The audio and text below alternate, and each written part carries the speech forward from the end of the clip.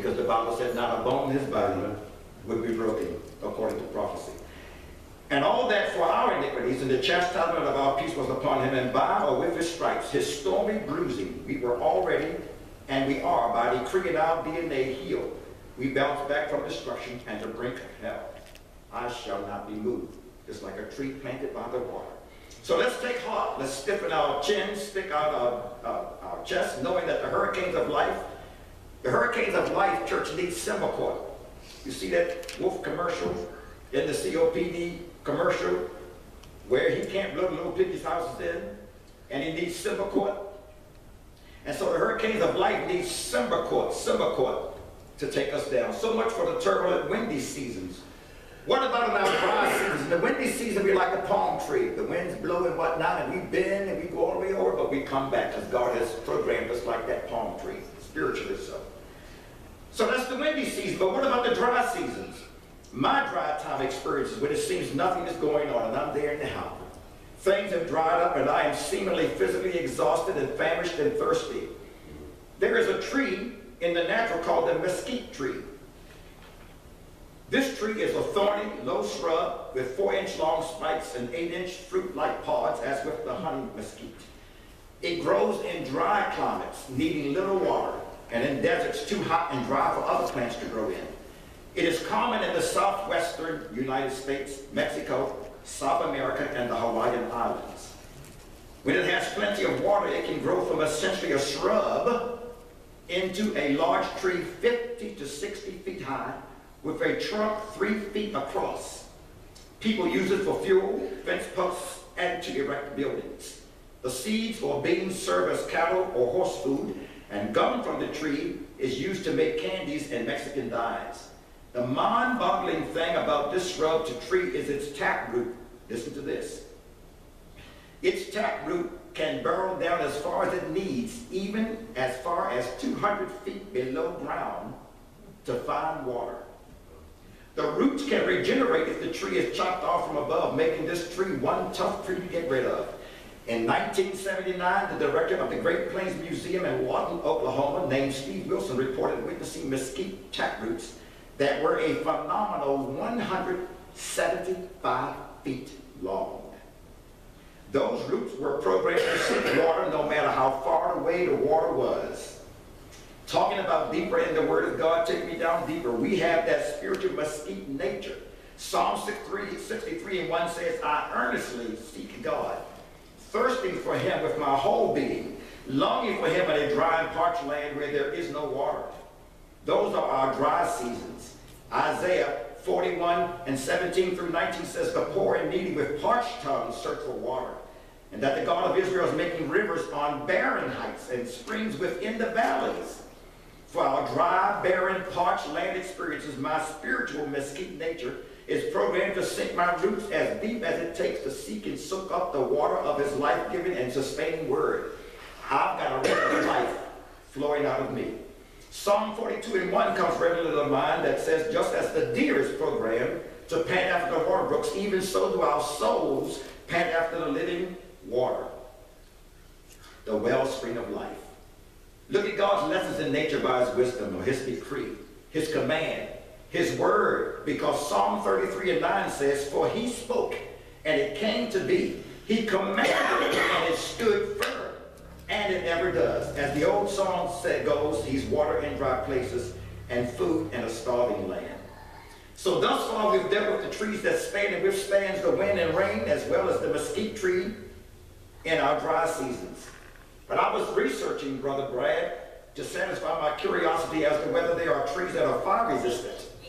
And to my surprise, I discovered there are at least seven such trees. Among them, the giant sequoia, or the redwood that together with the sugar pine tree has a thick fireproof bark. And the sugar pine may survive as long as 500 years. The Japanese elm planted widely in Japan as a street tree and introduced to the United States in 1895 is the most fire-resistant tree. I discovered that in forest fires, a large layer of charcoal remains on a living tree so that it gets scorched. And over time, it is enveloped by a, layer of new growth, creating fire scars, which provides a history of the tree to determine the time of the very fire.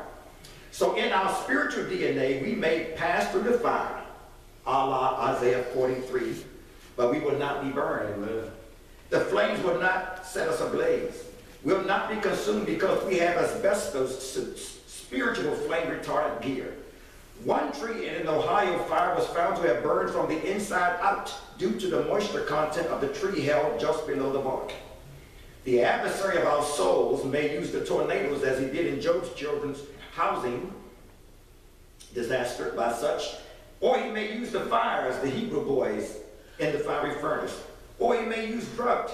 And when all else fails, what about coming in like a flood, the perfect storm? So like the palm tree, we deal with the wind and the rains. And then in the dry season, we're like the spiritual mesquite tree. So the adversary's well says, I tell you what, I'm going to flood them. So he comes in like a flood, but the Lord will lift up a standard against him, Isaiah 59 and 19. And what is that standard?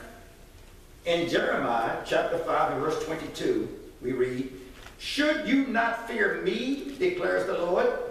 Should you not tremble in my presence? I made the sand a boundary for the sea, an everlasting barrier it cannot cross. Did you get that? The waves may roll, but they cannot prevail. They may roar, but they cannot cross it. Remember, God commanded, and it stood firm. Remember we read that earlier? earlier? We see God put a decree in every grain of sand, tiny as it is, commanding it, giving it the authority, the wherewithal to contain the vast, much more powerful, mighty ocean within the boundaries that God assigned for it. Hmm.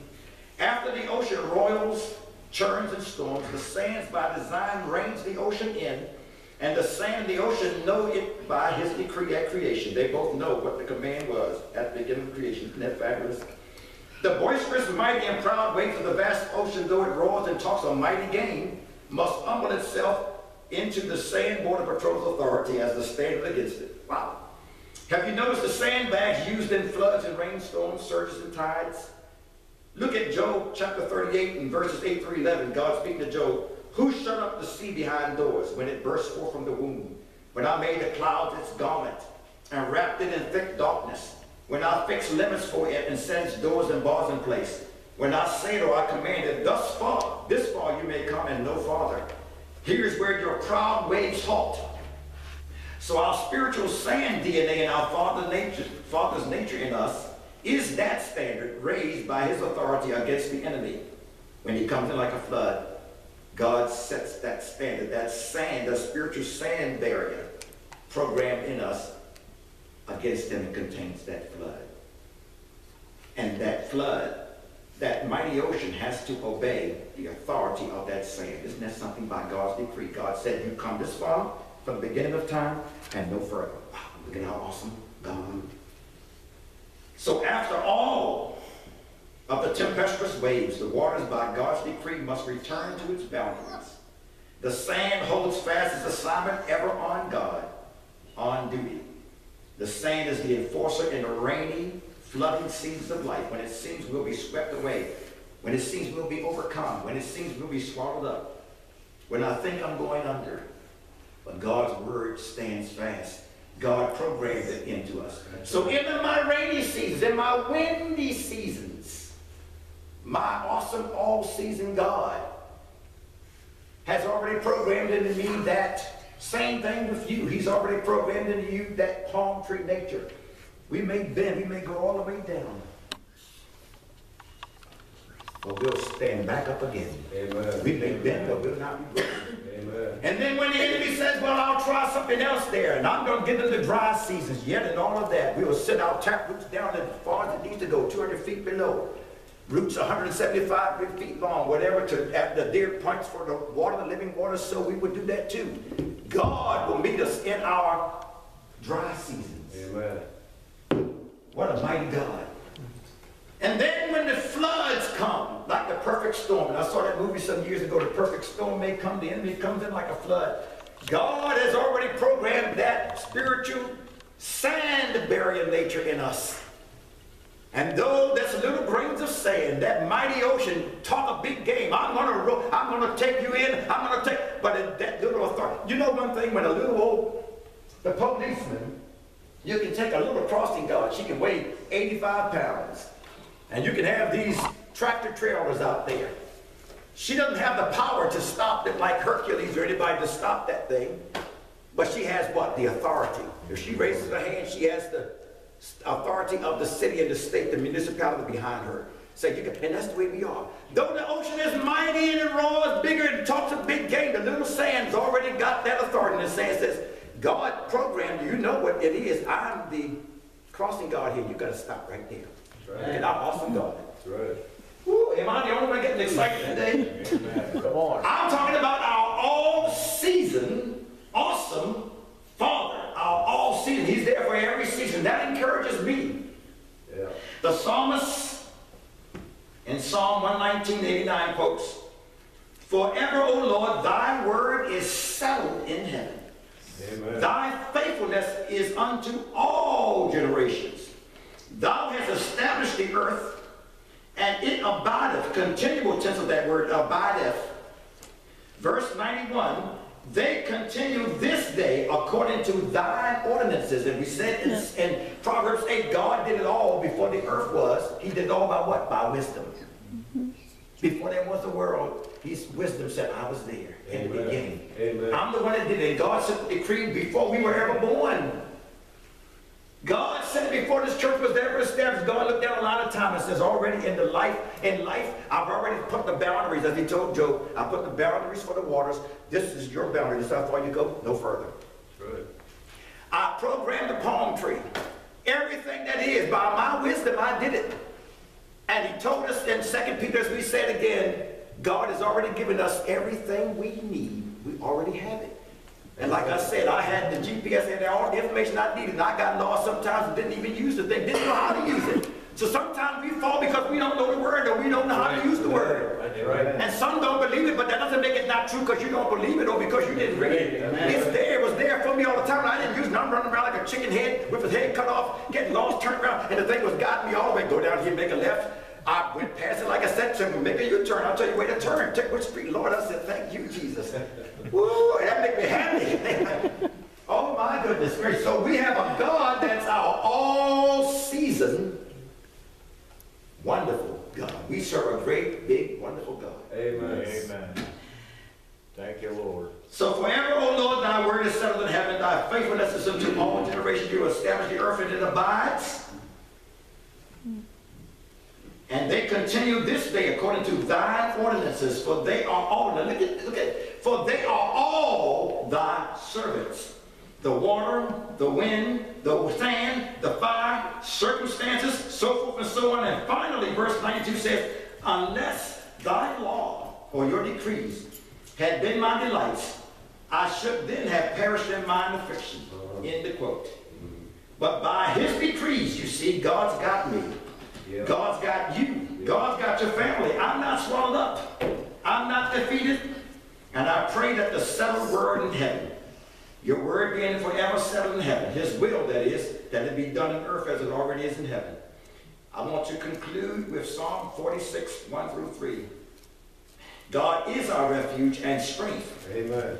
and ever-present help in trouble. Therefore we will not fear though the earth give way and the mountains fall into the heart of the sea, though its waters roar and foam and the mountains quake with their surging. In all of that, church, I shall not be moved. Amen. Just like those trees planted by the living water, because I have an awesome, all weather, all seasons like the tires God. I serve a great, big, wonderful God. Thank you for the privilege of your time. Remember, church, to grow in grace, lest you groan in disgrace. Amen. I'm Ronald Holden, and I approve this message. Thank you, Lord. Amen. the man is on me.